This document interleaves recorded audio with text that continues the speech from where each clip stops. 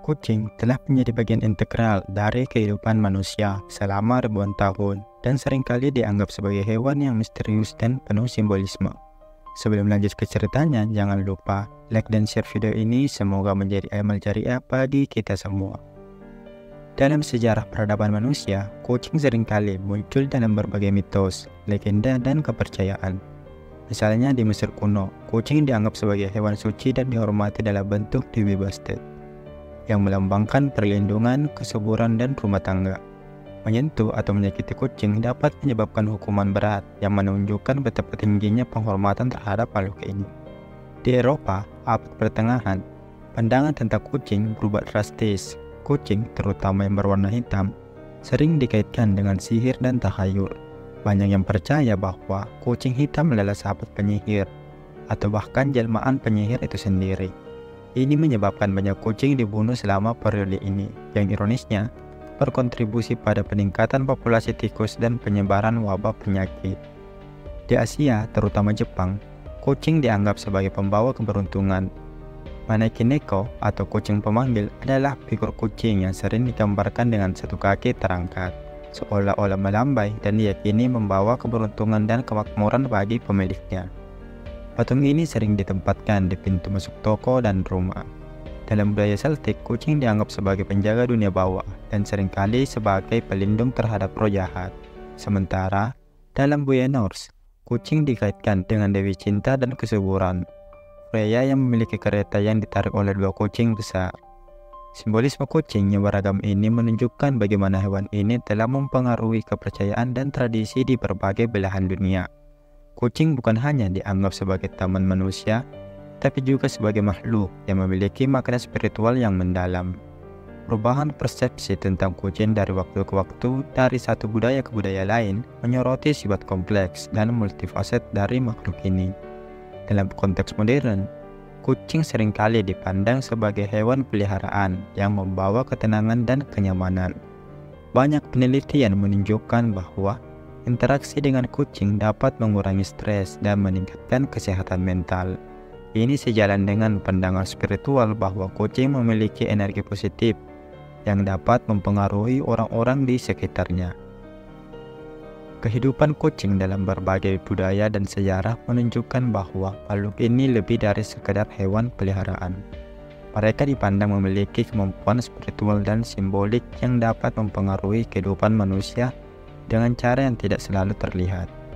Dalam beberapa budaya, kehadiran kucing bahkan dianggap sebagai pertanda atau pesan dari alam semesta atau entitas ilahi yang mengisyaratkan bahwa sesuatu yang lebih besar yang sedang berlangsung di sekitar kita. Dalam perspektif Islam, kucing adalah makhluk yang dihormati dan diperlakukan dengan baik. Islam mengajarkan kasih sayang dan belas kasihan terhadap semua makhluk hidup, termasuk hewan, Kucing khususnya memiliki tempat khusus dalam ajaran Islam. Salah satu kucing yang dihormati dalam Islam adalah karena hubungan khusus yang ada antara Nabi Muhammad dengan kucing. Nabi Muhammad Shallallahu Alaihi Wasallam sangat menyayangi kucing. Ada beberapa hadis yang menggambarkan bagaimana Nabi memperlakukan kucing dengan penuh kasih sayang. Salah satu kisah yang paling terkenal adalah tentang kucing bernama Musa, yang merupakan kucing peliharaan Nabi.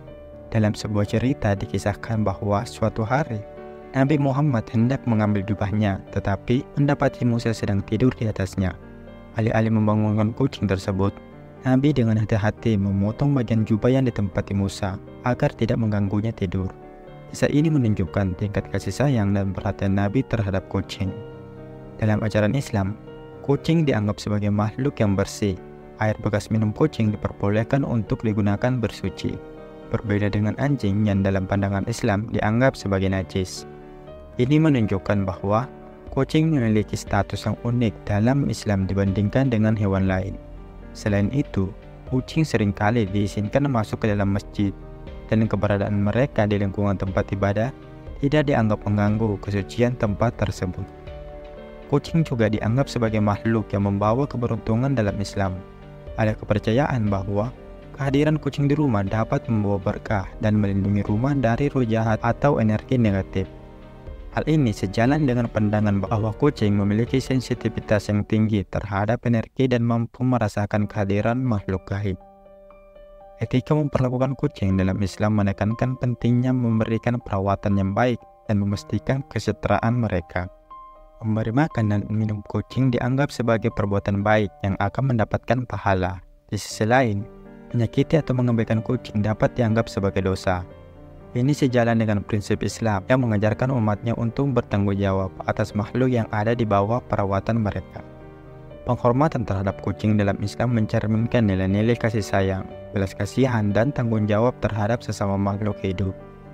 Dalam konteks spiritual, kucing sering kali dianggap sebagai makhluk yang dapat membawa ketenangan dan kedamaian. Kehadiran mereka di sekitar manusia sering kali dikaitkan dengan pertanda baik dan merupakan cerminan dari ajaran Islam yang menekankan perlunya hidup harmonis dengan semua makhluk ciptaan Allah. Secara keseluruhan, kucing dalam perspektif Islam dapat dipandang sebagai anugerah dan makhluk yang harus diperlakukan dengan kasih sayang dan penghormatan. Kisah Nabi Muhammad dengan kucing memberikan pelajaran penting tentang kisah kasih sayang dan penghormatan terhadap makhluk hidup. Di antara banyak kisah yang menggambarkan hubungan Nabi dengan kucing, yang paling terkenal adalah cerita tentang Musa tadi. Kisah itu mengajarkan umat Islam tentang pentingnya belas kasihan dan empati terhadap semua makhluk hidup. Ini sesuai dengan ajaran Islam yang menekankan pentingnya memperlakukan semua makhluk dengan baik dan tidak menyakiti mereka tanpa alasan yang jelas. Dari tindakan Nabi tersebut, kita dapat melihat bagaimana Islam mengajarkan umatnya untuk hidup berdampingan secara harmonis dengan alam dan makhluk hidup lainnya. Selain itu, ada pula kisah lain yang menggambarkan bagaimana Nabi Muhammad melindungi kucing dari kekerasan dan pengabaian. Pada suatu kesempatan, Nabi menegur seseorang sahabat yang tidak memperlakukan kucing dengan baik dan mengingatkan tentang pentingnya merawat kucing sebagai makhluk yang juga berhak atas kasih sayang dan perhatian. Kisah ini tidak hanya bertujuan untuk menggambarkan hubungan Nabi dengan kucing, tetapi juga memberikan pelajaran moral kepada umat Islam. Kasih sayang Nabi terhadap kucing menjadi teladan bagi umat Islam dalam memperlakukan hewan peliharaan mereka. Ini juga menekankan bahwa memperlakukan hewan dengan baik adalah bagian dari keimanan dan akhlak yang baik dalam Islam. Kisah Nabi Muhammad dan kucing juga memperkuat pandangan bahwa kucing adalah makhluk yang membawa ketenangan dan kedamaian. Kehadiran kucing di sekitar Nabi sering kali dikaitkan dengan suasana yang damai dan tenang, yang dapat memberikan kenyamanan bagi orang-orang di sekitarnya. Sebagai makhluk hidup yang dihormati dalam Islam, kucing juga dianggap memiliki kepekaan spiritual yang tinggi. Mereka mampu merasakan perubahan dalam lingkungan mereka, termasuk kehadiran makhluk gaib. Oleh karena itu, kehadiran kucing yang mendekati seseorang sering kali dianggap sebagai pertanda baik, yang menunjukkan bahwa orang tersebut berada dalam keadaan yang dilindungi dan diberkahi.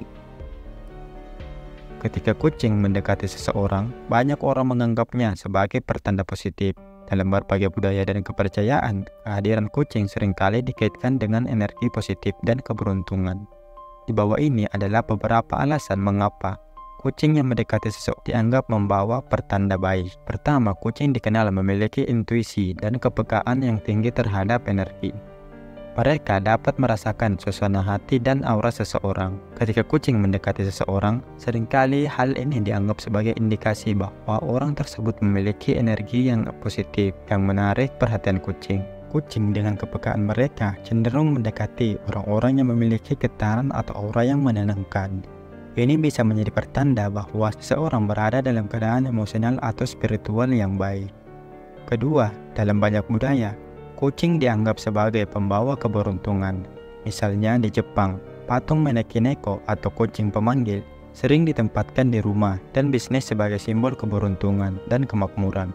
Ketika kucing mendekati seseorang, hal ini bisa dianggap sebagai simbol bahwa keberuntungan dan kemakmuran sedang menghampiri orang tersebut. Kucing yang datang dengan sendirinya sering kali dipandang sebagai tanda bahwa sesuatu yang baik akan terjadi dalam hidup orang tersebut. Ketiga, kucing juga sering dikaitkan dengan perlindungan spiritual. Dalam kepercayaan tertentu, kucing dianggap mampu mengusir roh jahat atau energi negatif. Ketika kucing mendekati seseorang, itu bisa diartikan bahwa kucing tersebut membawa perlindungan dan membantu membersihkan energi negatif dari lingkungan sekitar. Ini memberikan rasa aman dan ketenangan bagi orang yang didatangi kucing, karena mereka merasa dilindungi dan dijaga oleh makhluk yang memiliki kepekaan spiritual. Keempat, kehadiran kucing yang mendekati seseorang bisa juga menjadi pengingat untuk menjalani kehidupan dengan kelembutan dan perhatian. Kucing dengan sifatnya yang tenang dan anggun mengajarkan kita untuk memperlambat langkah dan menikmati momen-momen kecil dalam hidup. Ketika mereka mendekat, ini bisa menjadi undangan untuk lebih terhubung dengan diri sendiri dan lingkungan sekitar, serta menghargai nilai-nilai kesederhanaan dan kedamaian. Terakhir, dari sudut pandang psikologis, interaksi dengan kucing dapat memberikan manfaat positif terhadap kesehatan mental seseorang. Penelitian menunjukkan bahwa membeli kucing dapat mengurangi tingkat stres dan meningkatkan suasana hati. Ketika kucing mendekati seseorang, ini bisa menjadi kesempatan bagi orang-orang tersebut untuk merasakan efek menenangkan dari kehadiran kucing, yang pada gilirannya dapat membantu mengurangi kecemasan dan meningkatkan kesejahteraan emosional. Kehadiran kucing yang mendekati seseorang sering kali dimaknai lebih dari sekadar integrasi sederhana antara manusia dan hewan. Dalam banyak tradisi spiritual dan filosofis, Kucing dianggap memiliki makna simbolis yang mendalam dan dapat menyampaikan isyarat spiritual serta makna tersembunyi yang penting bagi kehidupan seseorang. Pertama, kucing sering kali dihubungkan dengan intuisi dan misteri.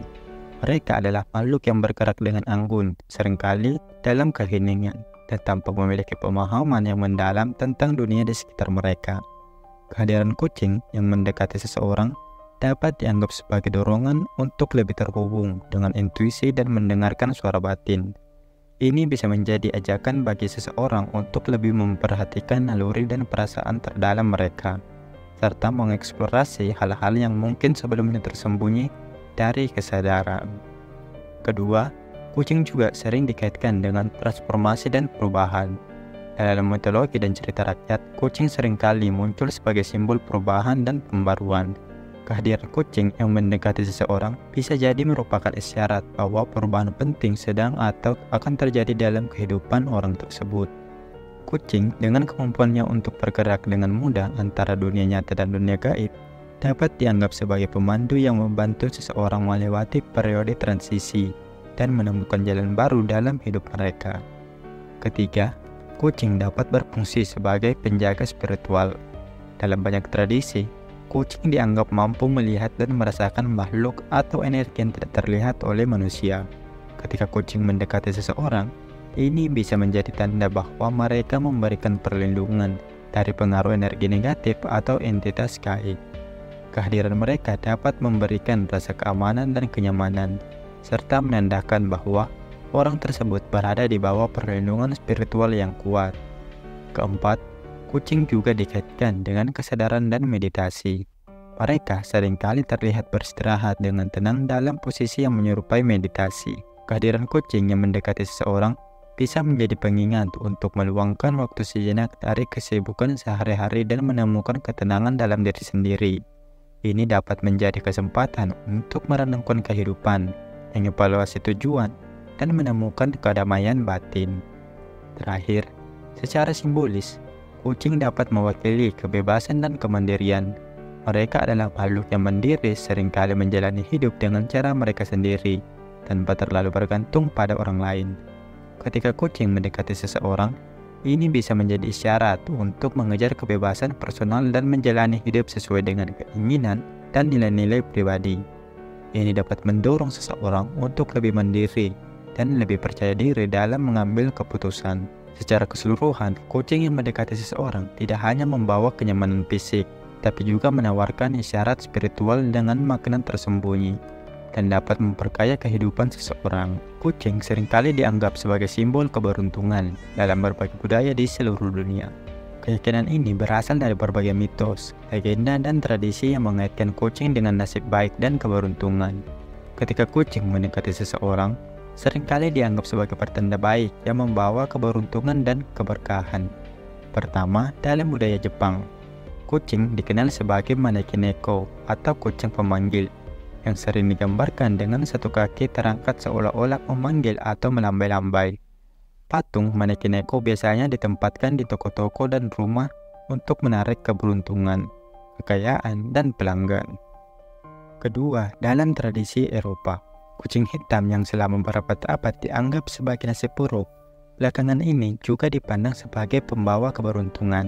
Misalnya di Inggris, melihat kucing hitam diyakini dapat membawa keberuntungan, terutama jika kucing tersebut mendekati seseorang. Keyakinan ini berakar pada tradisi maritim di mana pelaut percaya bahwa kucing hitam di kapal akan membawa pelayaran yang aman dan keberuntungan. Ketiga, dalam budaya Mesir kuno, kucing dianggap suci dan dipuja sebagai perwujudan dari Dewi Bastet yang melambangkan perlindungan, kesuburan, dan kesehatan. Masyarakat Mesir percaya bahwa kehadiran kucing di rumah membawa keberuntungan dan melindungi keluarga dari roh jahat dan penyakit. Ketika kucing mendekati seseorang, ini bisa dianggap sebagai tanda bahwa orang tersebut akan dilindungi dan diberkahi dengan kesehatan dan kesejahteraan. Keempat, kucing juga dikenal memiliki kemampuan untuk mendeteksi energi negatif dan mengusirnya. Dalam beberapa tradisi, kucing dianggap sebagai penjaga spiritual yang dapat membersihkan energi buruk dari sebuah tempat. Jika kucing mendekati seseorang, ini bisa menjadi indikasi bahwa orang tersebut akan dibebaskan dari pengaruh negatif dan mendapatkan keberuntungan yang lebih baik. Terakhir, dari perspektif psikologis, Kehadiran kucing dapat memberikan perasaan nyaman dan bahagia, yang pada gilirannya dapat meningkatkan suasana hati dan kesejahteraan seseorang. Kucing yang mendekati seseorang dapat mengurangi tingkat stres dan meningkatkan rasa bahagia, sehingga menciptakan lingkungan yang lebih positif dan kondusif untuk keberuntungan dan kesuksesan. Secara keseluruhan, Kucing yang mendekati seseorang sering kali dianggap sebagai penanda keberuntungan karena berbagai alasan budaya, spiritual, dan psikologis. Interaksi antara kucing dan manusia telah berlangsung selama ribuan tahun, dan hubungan ini membawa banyak dampak positif yang signifikan terhadap kehidupan manusia. Kucing tidak hanya menjadi hewan peliharaan yang menyenangkan, tapi juga berperan penting dalam kesehatan emosional dan mental kita. Berikut adalah beberapa dampak positif yang ditimbulkan oleh interaksi kucing dengan manusia. Yang pertama, kehadiran kucing dapat mengurangi stres dan kecemasan. Banyak penelitian menunjukkan bahwa menghabiskan waktu dengan kucing dapat menurunkan kadar kortisol, hormon stres dalam tubuh. Membeli kucing atau duduk dengan kucing di pangkuan dapat memberikan efek menenangkan, membantu orang merasa lebih rileks dan damai. Ini sangat bermanfaat bagi mereka yang mengalami stres berkepanjangan atau gangguan kecemasan.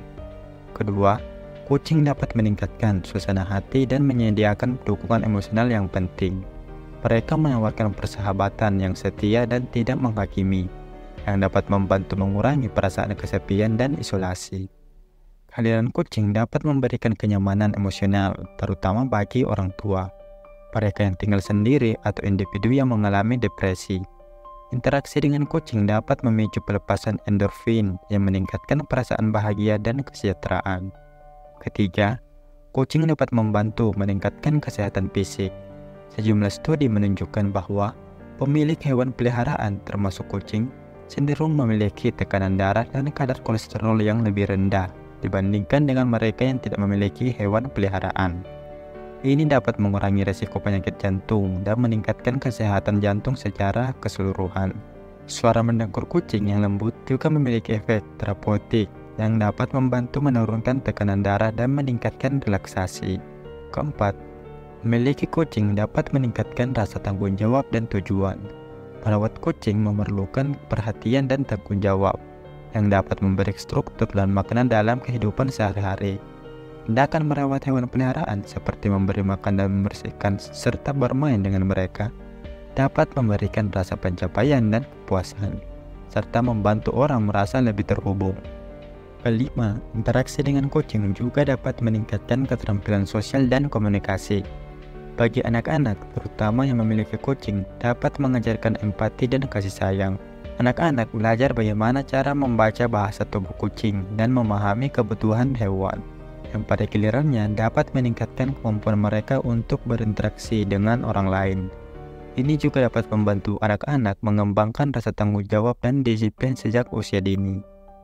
Keenam, kucing juga dapat memberikan manfaat terapeutik dalam konteks perawatan kesehatan mental.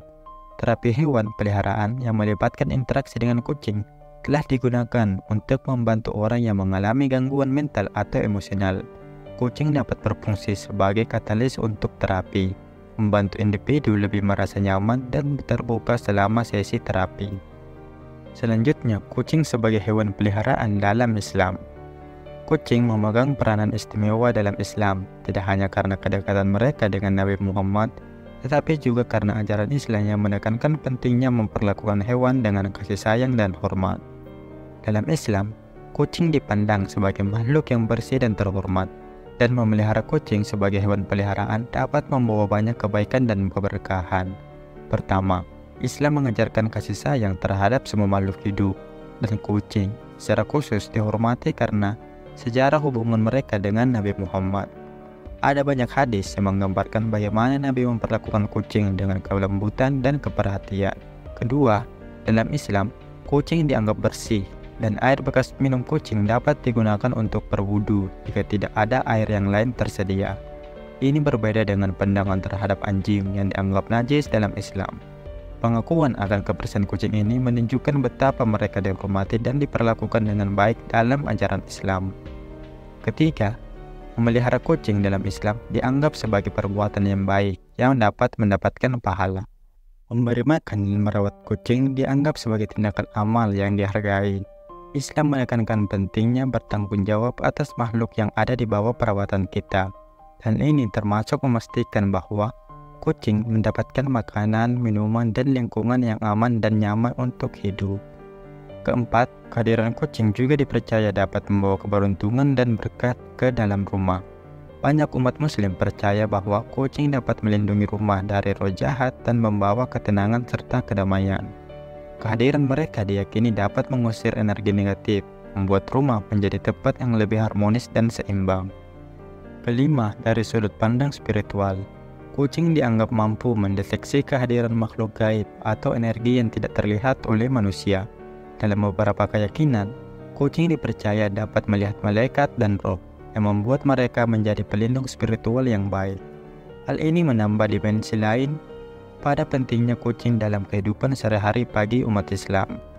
Akhirnya, memelihara kucing ini juga dapat mengajarkan kita nilai-nilai penting seperti kesabaran, empati, dan tanggung jawab. Mengurus kucing memerlukan perhatian dan dedikasi dan ini dapat meningkatkan kualitas hidup kita dengan mengajarkan kita untuk lebih peduli dan berempati kepada makhluk lain. Kucing dengan sifat mereka dengan tenang dan mandiri juga dapat menjadi teladan tentang bagaimana menjalani hidup dengan damai dan harmonis.